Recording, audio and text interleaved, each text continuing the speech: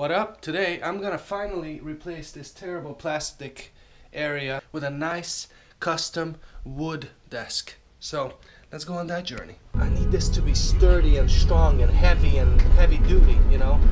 Oh, we're gonna stain the whole thing. I'm gonna stain the whole thing, wait a little bit, and then we're gonna clear coat it with this really nice clear coat.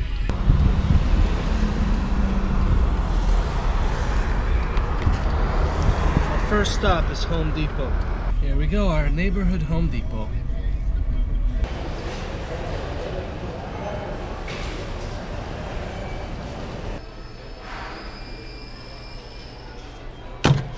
Sandpaper, rags.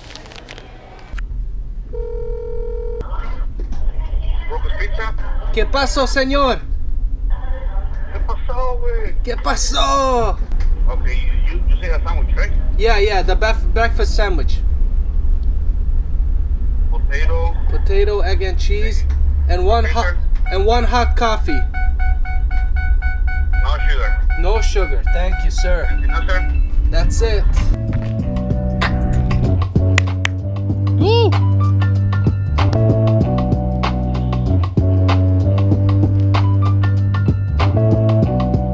Here we are. This is it. This is gonna be the desk at one time. I have. This is heavy as hell, dude. The bottom has some 2x4s right here, make it nice and sturdy.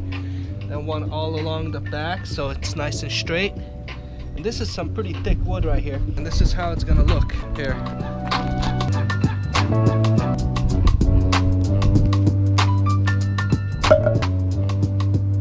So basically we went from this to this. See? It's nice and red. So if you imagine this will be under that right there. So that'll be the left side of the leg. So that's where we're at. And we'll go from here. I'm gonna start sanding this thing as you can see these holes I filled yesterday and that's where all the screws are so I wanted to have a nice flat surface I don't want no screws showing up you know what I mean no sign of assembly you know it grew like this in the forest here's the thing about sanding. You have to always go with the grit. Sandpaper is actually categorized by a number all the different numbers. So you start from 60 you go all the way up to 400 which is really fine. 220 320 right? 400 400 is so soft it's like a baby's butt. Now of course you could do this by hand like a dumbass or you could do it with a machine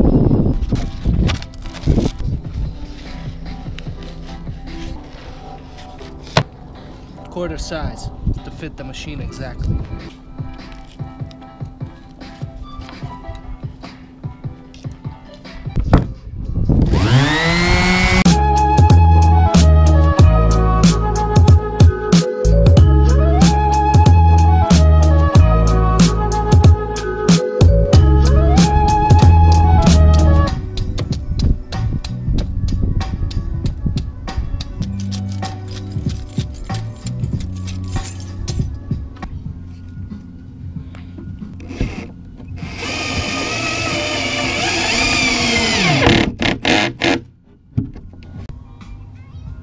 Is basically gonna be the finish. I don't care about all that. I should, I could resand all this, but you know what? I mean, this is a terrible job, but really I don't care because this is where the computer is gonna be and nobody's gonna see this. I've been wanting this table for so long, guys. You don't even know. It's like a dream come true. Materials were about 300 bucks.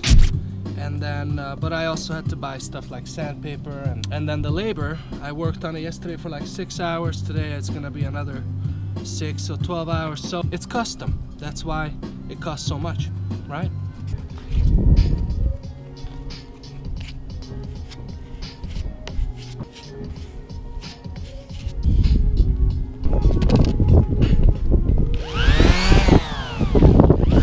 Now we wait for this shit to dry.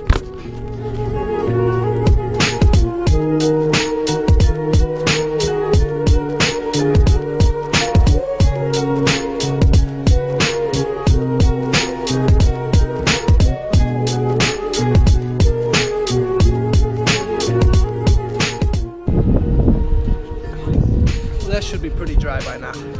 So let's keep going.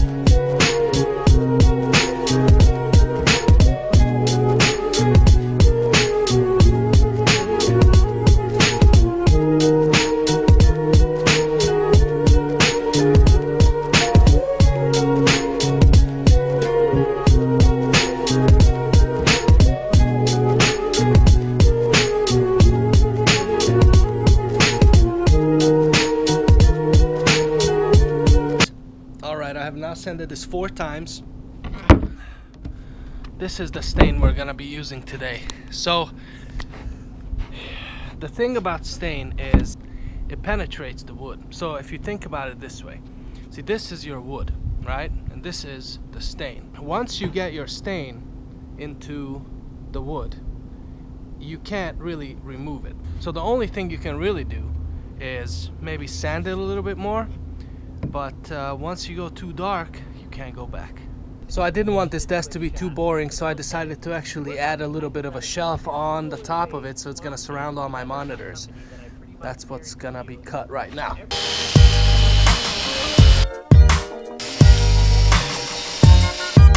See that?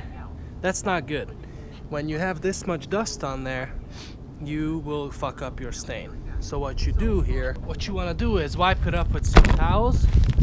This what you start with. And then you get this other type of sticky towel that they sell at Home Depot. But you also want to wear some gloves because that shit is pretty sticky and disgusting. And you're gonna stain anyway, so you want gloves, right? For stain. Alright kids, let's work.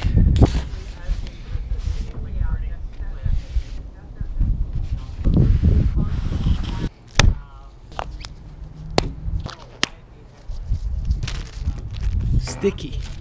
You want to just wipe off the dust with the sticky stuff. Ooh, look at that. Hmm? Looks like looks like diarrhea.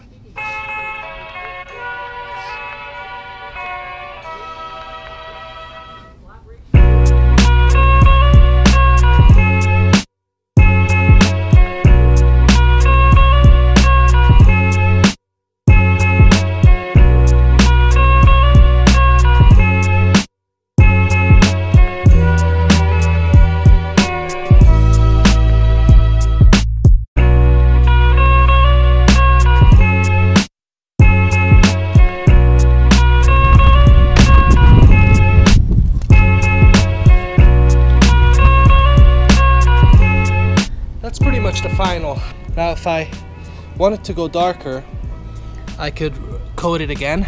And then finally, clear coat. Not just any clear coat, guys. Triple X, extreme clear coat. Three layers in one, three coats in one, triple thick, easy spread, advanced self-leveling formula. Polyurethane. This is the good shit right here. What you want to do first though with this thing is to mix it thoroughly.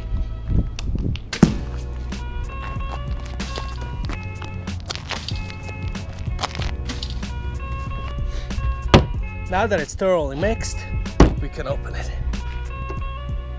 Look at that oozing. Oh yeah. Mmm. All right, so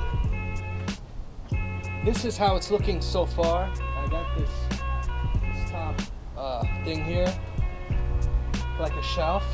I'm already realizing that this is gonna be hella awkward to use, but I kind of think it would it would be cool to have almost like shark teeth. These these triangles coming up, and then these other triangles coming in, and then one triangle in the middle it would resemble somewhat of like shark teeth, huh? What do you think? I don't care because I'm gonna do it anyway. It's gonna be the shark desk. This is all the teeth. Now we just gotta cut it out.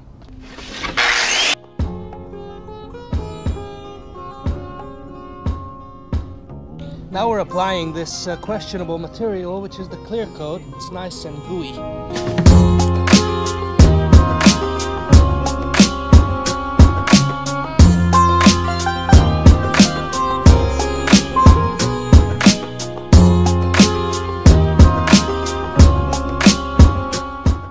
Right here is lacquer thinner.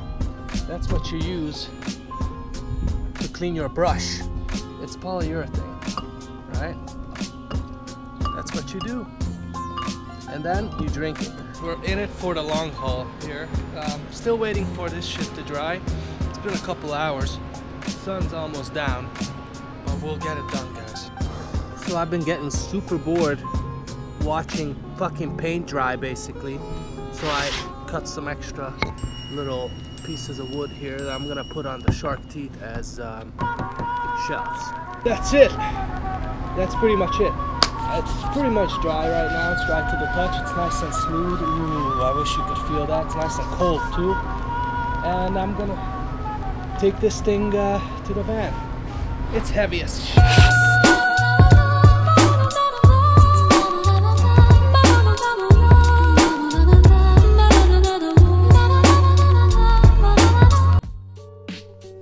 Couple days later, but we're gonna show off the final product. This is the final product right now.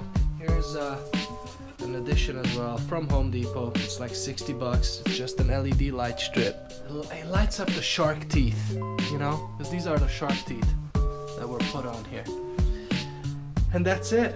I cannot believe that this table is finally done. See you in the next one. And I'm so much more productive. So much more productive now. I just sit down and I feel like everything's just right on my fingertips. There's no more there's no more crap on the table. This cutout is just like perfect perfectly sized for me and I'm not a big guy. So it's it's just perfect, man. There's really not much I can say. With that said, it's worth it. It's worth it if you want to build a table. It does cost some money. It does cost some work. You do have to have some tools, but it will be fully custom, and it is worth it. So anyway, we'll see you guys in the next video.